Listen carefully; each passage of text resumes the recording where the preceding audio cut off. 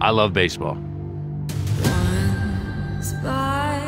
I love scoring from first base, cutting the bag so fast you feel like you're flying. Wow, can the big man fly?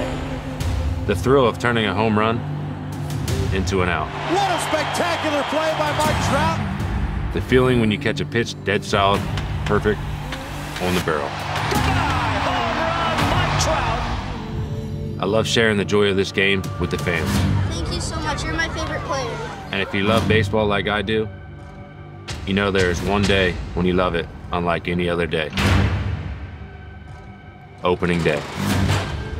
Just saying them two words will make you smile.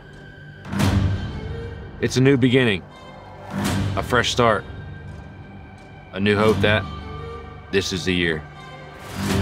Opening day is here. With it, all the optimism and enthusiasm of postseason dreams.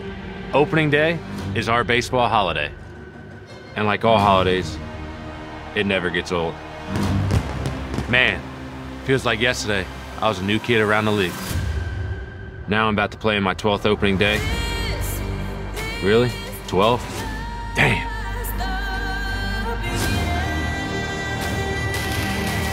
Here's the thing about opening day. I felt the same way first game of each Little League season. Felt the same way first game every year at Millville High School.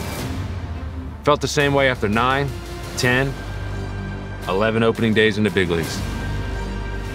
Putting on the uniform, lining up for intros, taking the field, stepping in the box for the first time. You feel like a kid on your birthday. Let's go. You're so full of hope and so eager to start the season right. And that is a great way to play baseball. It's that opening day feeling.